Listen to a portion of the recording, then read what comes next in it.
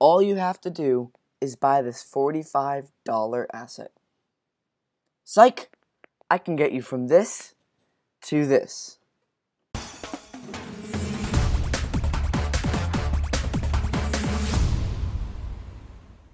Hello everybody, Peter Traps here, and welcome to another Unity tutorial. Okay, so the first thing you want to do is go to your alignment, click the two middle buttons, just change, no, sorry, not rotation, change the position real quick.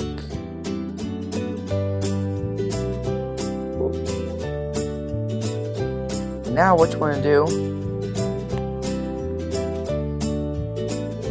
is bring up the width, make it real high. So let's do um, 10,000. 10,000 for width. Wait, hold on. Okay, okay. 10,000 for width, 10,000 for height.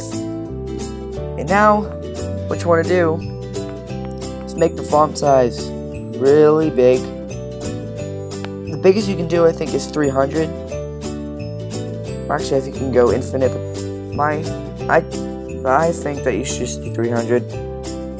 Change the font size to 300. Now for the last thing,